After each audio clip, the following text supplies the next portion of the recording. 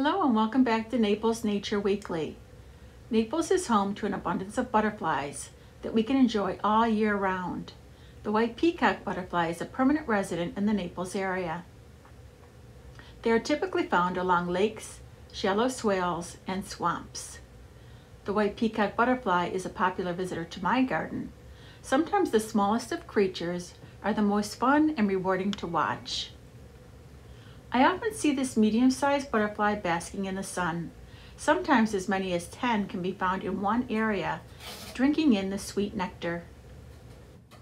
The males of this species exhibit a unique territorial behavior in which they stake out a territory that contains larval host plants. They perch in this area and aggressively protect it from other insects and other males.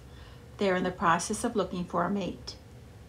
Host plants are plants that the adult female lay their eggs on and the hatching larvae feed on.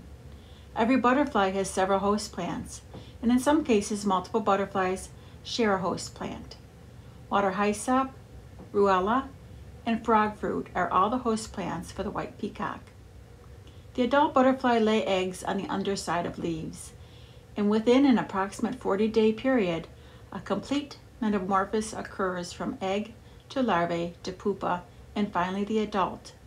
The adult butterfly lives for approximately 14 days and their cycle repeats.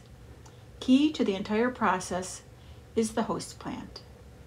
As a larvae, the white peacock butterfly is a black spiny caterpillar, but as an adult, it's a medium-sized, primarily white butterfly.